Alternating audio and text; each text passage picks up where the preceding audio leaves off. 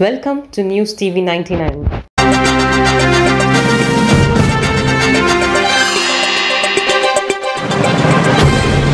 కేంద్రపాలిత ప్రాంతం పుదుచ్చేరి ఆరోగ్య శాఖ మంత్రి మల్లాడి కృష్ణారావు సంచలన వ్యాఖ్యలు. పుదుచ్చేరి గవర్నర్ కిరణ్ బేడీకి పదహారు పేజీల లేఖను పంపిన ఆరోగ్య శాఖ మంత్రి మల్లాడి కృష్ణారావు.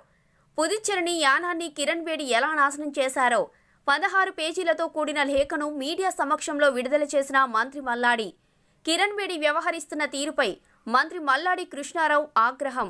గవర్నర్ కిరణ్ బేడి చేసిన అవినీతిపై పలు ఆధారాలతో కిరణ్ బేడీకి లేఖను పంపించిన పుదుచ్చేరి ఆరోగ్య శాఖ మంత్రి మల్లాడి కృష్ణారావు. ఈరోజు నేను ఒక ప్రెస్ మీట్ని మీడియాకి అందరికి కూడా కిరణబేడి ఏ విధంగా పాండిచ్చేరిని పాండిచేరిని అలాగే పర్టికులర్గా యానాన్ని నా మీద ఉన్న వెంజన్స్ తోటి ఏ విధంగా తప్పు చేస్తున్నారన్న విషయాన్ని నేను ఈరోజు రిటర్న్గా కిరణ్ బేడికి నేను సైన్ చేసి ఇవన్నీ కూడా పంపించడం జరిగింది. ముఖ్యంగా దీన్ని లాస్ట్ ఇరవై తొమ్మిదో తారీఖున వాట్సాప్లో కొన్ని నేను చెప్పిన విషయాల్ని ఆవిడ పూర్తిగా దానికి రిప్లై చెప్పకుండా ఇదేదంతా ఫైల్స్లో తప్పు ఉన్నదనో ఫైల్స్ సరిగా సబ్మిట్ చేయలేదని చెప్పి చెప్పున్నారు అది తప్పు అని చెప్పి చెప్పి ఈరోజు నేను పూర్తిగా దాని ఎవిడెన్స్ తోటి పూర్తిగా నేను చేయడం జరిగింది.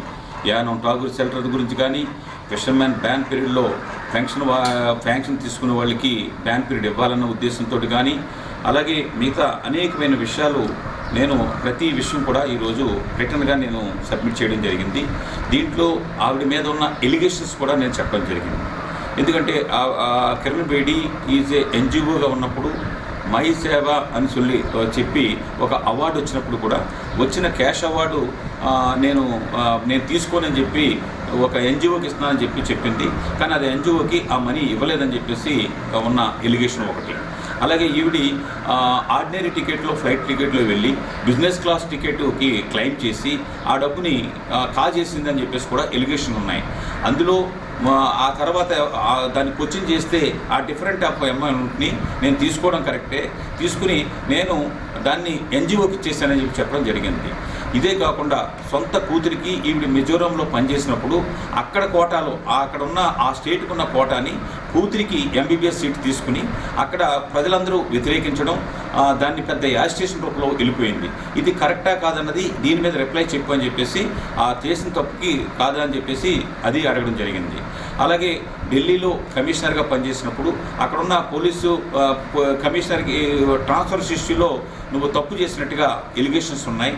దానికి బదులు చెప్పమని చెప్పేసి చెప్పడం జరిగింది.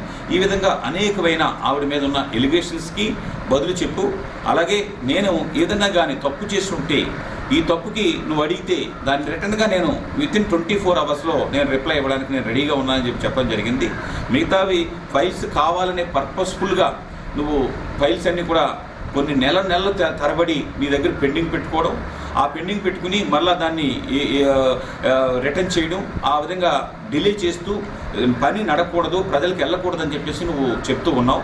దీన్ని అంతా కూడా నేను రిటర్న్గా అడిగి ఉన్నాను. జిఎస్పిసి ఇచ్చిన ఫిషర్మెన్ కాంపన్సేషన్ విషయంలో కానీ అలాగే ఇసుక మీద బతికే లైవ్లీహుడ్ వాళ్ళకి ఇబ్బంది చేయడంలో కానీ అలాగే Venkateswara Swamy temple concession stop చేయడంలో కానీ ఇలాంటి ఫ్లడ్ వాళ్ళు ఆఫ్ చేయడంలో కానీ కొన్ని వందల కుటుంబాలని అక్కడి నుంచి తరిమేయాలని చెప్పేసి నువ్వు ఫ్రాన్స్ తిప్ప ఏరియాలో వాళ్ళని మిగతా ఏరియా వాళ్ళని నువ్వు చేసిన తప్పును కానీ ఇవన్నీ కూడా నేను ఎప్పటికప్పుడు మాట్లాడుతున్నాను. ఈ రోజైతే రిటర్న్గా ఆవిడకి సబ్మిట్ చేయడం జరిగింది.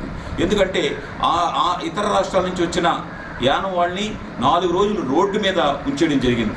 అది ఇరవై ఐదో తారీఖున అడ్మినిస్ట్రేటర్కి నైట్ మాట్లాడి ఏ ఒక్కరిని కూడా ఎలా చేయొద్దని చెప్పడంతో అధికారులు భయపడిపోయి వాళ్ళని పంపించలేదు. నేను నాలుగు మూడు నాలుగు రోజులు ప్రయత్నం చేసి ఇంకా నా వల్ల కాని పరిస్థితిలో నేను అసెంబ్లీ ఎదుర్కొంటా కూర్చోవడం ముఖ్యమంత్రి గారు హోమ్ సెక్రటరీ తోటి హోమ్ మినిస్టర్ తోటి మాట్లాడడం గవర్నమెంట్ ఆఫ్ ఇండియా ఇమ్మీడియట్గా దానికి రెస్పాండ్ అయ్యి మొత్తం ఎంటైర్ కంట్రీ నా ప్రాబ్లమే కాకుండా ఎంటైర్ కంట్రీ ప్రాబ్లము సాల్వ్ చేసింది. దానికి నేను హోమ్ మినిస్టర్కి ప్రైమ్ మినిస్టర్కి హోమ్ సెక్రటరీకి అలాగే తెలుగు వాడైన కిషన్ రెడ్డి సెంట్రల్ సెంట్రల్లో హోమ్ మినిస్టర్గా స్టేట్ మినిస్టర్గా ఉన్నారు. వారికి కూడా నేను థ్యాంక్స్ చెప్పాను. మరొకసారి వాళ్ళందరికీ కూడా థ్యాంక్స్ చెప్తున్నాను. ఇటువంటి తప్పులు చేసే కిరణ్ బేడి వల్లే సెంట్రల్ గవర్నమెంట్ మంచి చేసినా కానీ అది పాండిచేరి ప్రజలకి అంతకండా ఉండిపోయింది. ఈవేళ వరకు ఎల్లో కార్డులో ఉన్న వాళ్ళకి రైస్ ఇవ్వకన్నా ఆగిపోయింది. అలాగే ఎర్ర ఎర్ర కార్డు వాళ్ళకి యానంలో ఇంకా కొంచెం మిగిలిన్నారు పాండిచేరిలో అయితే ఈ రోజుకి కూడా ఈ దగ్గర దగ్గర ఇరవై ఐదు రోజులైనా కానీ పూర్తిగా రైస్ సప్లై చేయలేని పరిస్థితులు ఉన్నాయి. ఎన్నాటికి ముఖ్య కారణం కిరణబేడి కిరణబేడి ఇంకా ఏమేమి రాజభవన్లో చేశారో? ఆవిడ ఎంత ఖర్చు పెట్టారో? ఇతర గవర్నర్ల కంటే ఎన్ని కోట్ల రూపాయలు ఖర్చు పెట్టారు? ఎన్ని లక్షల రూపాయలు జీతం తీసుకుంటూ ఉన్నారు? ఫెన్షన్ ఉండగా ఢిల్లీ ఇచ్చి ఫెన్షన్ వదిలేసుకుని ఇక్కడ జీతం పాండిచేరి డబ్బు ఎందుకు నువ్వు ఉపయోగించి వచ్చింది? నీకు మెడికల్ బిల్ ఎంత ఖర్చు పెట్టావు?